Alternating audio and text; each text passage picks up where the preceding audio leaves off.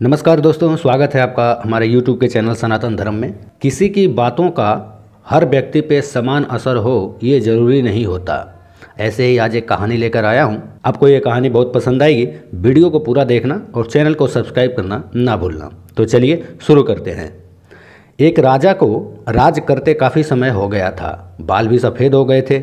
एक दिन उसने अपने दरबार में उत्सव रखा और अपने मित्र देश के राजाओं को भी आमंत्रित किया। अपने गुरुदेव को भी बुलावा दिया।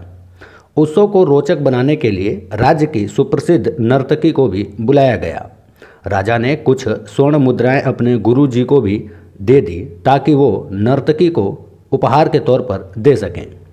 सारी रात नृत्य चलता रहा। ब्रह्म मुहूर्त की बेला आई नर्तकी ने देखा कि मेरा तबले वाला ऊँघ रहा है, यानी कि उसको नींद आ रही है। और तबले वाले को सावधान करना ज़रूरी है, वरना राजा का क्या भरोसा?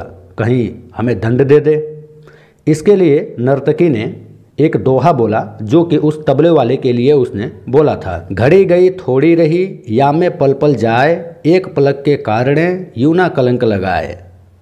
अब इस दोहे का अलग अलग व्यक्तियों ने अपने अनुरूप अर्थ निकाला।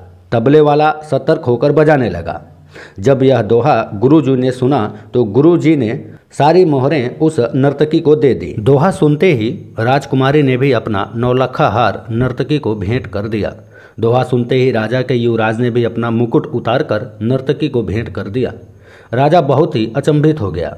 सोचने लगा, रात भर से नृत्य चल रहा था, पर यह क्या हो गया? अचानक एक दोहे से सब अपनी मूल्यवान वस्तु बहुत ही खुश होकर नर्तकी को भेंट करने लगे। राजा सिंहासन से उठा और नर्तकी को बोला कि एक दोहे द्वारा एक सामान्य नर्तकी होकर तुमने सबको लूट लिया। जब यह बात राजा के गुरु ने सुनी तो गुरु के नेत्रों में आँसू आ गए। गुरु जी कहने लगे कि, हे राजा, इसको नीच नर्तकी मत कहो। ये अब मेरी गुरु बन गई है, क्योंकि इसके दोहे ने मेरी आँखें खोल दी। दोहे से यह कह रही है कि मैं सारे उम्र जंगलों में भक्ति करता रहा और आखिरी समय में नर्तकी का मुजरा देखकर अपनी साधना नष्ट करने यहाँ पहुँच गया। भाई, मैं तो चला। यह कहकर गुरुजी तो अपना कमंडल उठाकर जंगल की ओर चल पड़े। राजा की लड़की ने कहा कि, हे पिताजी, मैं जवान हो गई हूँ। आप आँखें बंद किए बैठे हुए हैं। मेरा विवाह नहीं कर रहे हैं। आज रात मैं आपके महावत के साथ भागकर अपना जीवन बर्बाद करने वाली थी। लेकिन इस नर्तकी के दोहे ने मुझे सुमति दी है। कि जल्दबाजी न कर, हो सकता है तेरा विवाह कल हो जाए। क्यों अपने पिता को कलंकित करने पर तुली हुई है? युवराज ने कहा, महाराज, आप वृद्ध हो चले हैं, फिर भी मुझे राज नहीं दे रहे थे। मैं आज रात ही आपके सिपाहियों से मिलकर आपको मारने वाला था। लेकिन इस दोहे ने समझाया कि पगले, आज नहीं तो कल आखिर राज तो तुम्हें ही मिलने वाला है।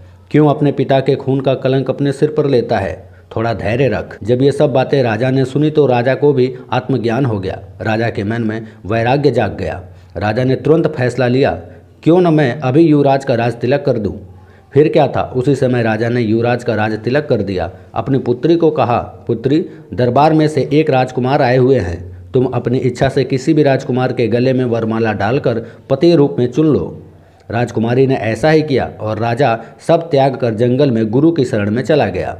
यह सब देखकर नर्तकी ने सोचा, मेरे एक दोहे से इतने लोग सुधर गए, लेकिन मैं क्यों नहीं सुधरी? उसी समय नर्तकी में भी वैराग्य आ गया। उसने उसी समय निर्णय लिया कि आज से मैं अपना नृत्य बंद करती हूँ।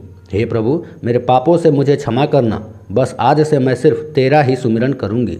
जिस व्यक्ति के पास जैसी ज्ञान शक्ति होती है